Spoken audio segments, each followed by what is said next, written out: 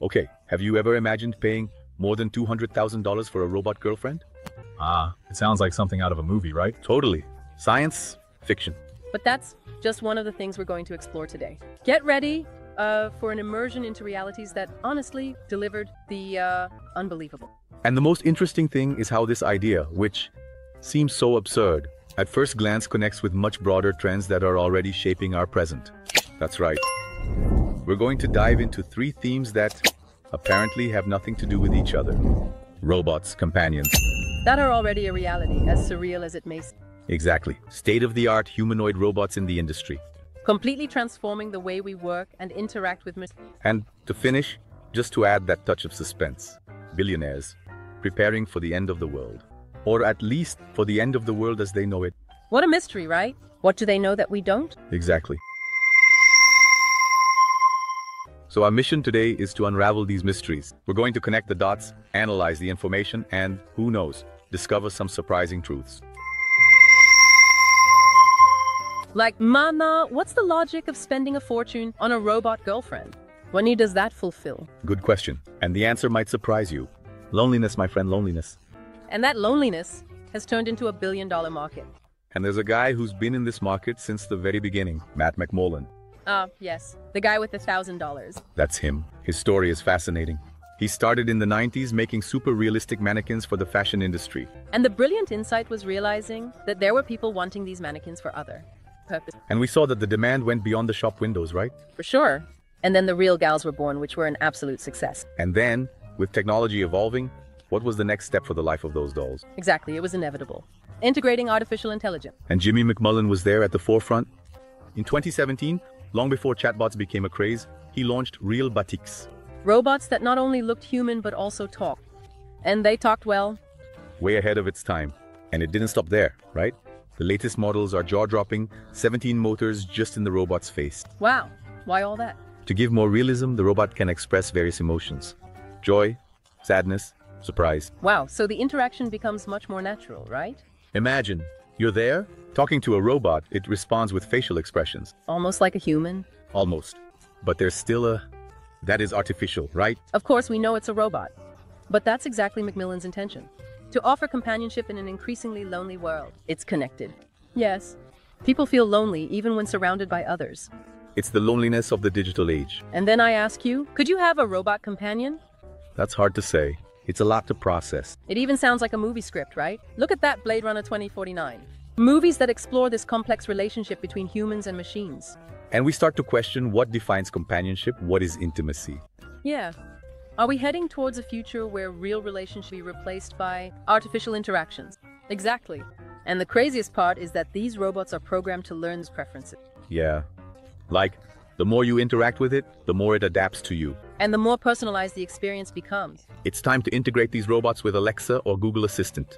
Totally, we've already gotten used to talking to machines. If the machine starts having feelings, things get complicated, quite complicated. And the price, the robotic one costs about $20,000, the full model. Tell me it's not what I'm thinking. More than $200,000 the price of an apartment. Yeah. And there are people buying it. There's a market for this. Yes. It's bizarre. But it shows that loneliness is a real real problem. It's profitable, but let's change the subject, thankfully. I need to digest all of this. Humanoid robots. Ah, like those that do repetitive work in factories. Forget that image. The bald one, the Kaleido 8.0 is a different story. And what does it do differently? It collaborates, works together with humans. Seriously, there was a demonstration, the Kaleido 8.0, and a human moving a table together.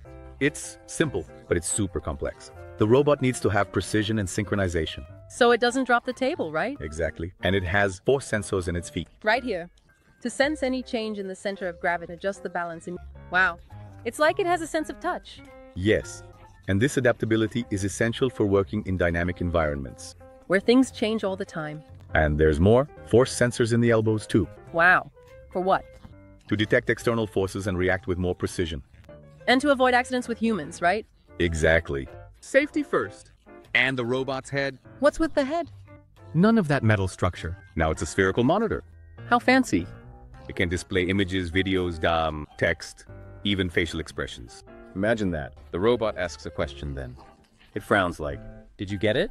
It's crazy. Makes communication easier, right? Undoubtedly. We communicate a lot with facial expressions. And the Kaleido 1.0 also learned how to fall. What do you mean? You fall, and it gets up by itself. How practical. And useful, right? Imagine it working in a place. Dangerous. Or unstable. And it falls. Then it gets up and continues working. Awesome. And for high risk jobs, they are developing a teleoperation system. Remote control. A human controls the robot from a distance. You need, Toxic environments, for example. without putting humans at risk. And there's the idea of the hybrid model.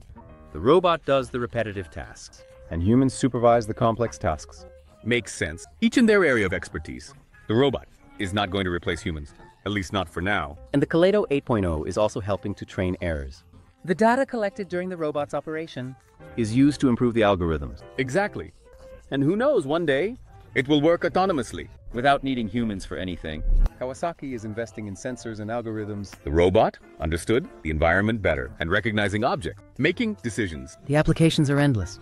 Industry, healthcare, rescues. Does one robot do everything? They even created another robot, the Vega. What's special about it? Modular design arms, super precise, a base that moves in all directions. Adjustable heights, a new battery, lasting up to 30 hours. Wow. A robotic Swiss Army knife? We have one, however. This, all this technology, right? It's expensive. The Kaleido costs more than $150,000. There's still no date for its commercial release. Yeah, It's out of our reach. for now, Bibi. I told you there are very rich people. Preparing for the apocalypse, building underground bunkers, stockpiling supplies. How scary. What do they know? We wonder, right? Do they have insider information about a catastrophe or even potentially a war or possibly a global collapse? And you, what do you possibly think? And the strangest thing is that sales of survival kits have skyrocketed. Yes, food, water, they talk about them, they talk. Essential items. Everything with a shelf life of 30 years or more. Maybe the end of the world has become. Trendy. And these billionaires aren't joking, right? Bunker for Mark Zuckerberg. Old nuclear cells transformed into Bridges. Underground communities with swimming pools, cinemas. cultivation systems. Yes, everything. It almost seems like science fiction, but it's real. And then we think they might be right. Should we be worried? Or are they exaggerating? Aren't they themselves creating chaos? Some people talk about HAARP, that atmospheric research program. That supposedly can control the weather. Storms, gold chariots, gold pig carts. And who benefits from this? The companies that sell. The generators. Yes. Emergency food supplies. German, Urus. And who controls these companies? The billionaires. And we are left. I don't deserve this game. They spread panic and sell more solutions. And governments also have their secret plans. Underground shelters and the rest of the population, and technology companies. Investing in food security, space colonization, alternative energy. It seems they already know. What is going to happen? Dark, buying essential survival kits. Thinking they are preparing. Cesar. Maybe. It's all part of the plan. Color. We started talking about girlfriends. Robots. And we ended with a billionaire apocalypse. And the connection, technology, human, relationships, and social stability. All connected. And the question that remains is what is going to happen? What does the future hold for us? Only time will tell. And us? We should keep seeking answers and preparing for everything. Because the world is an unpredictable place and we need to be ready for anything. Reflect on this until next time.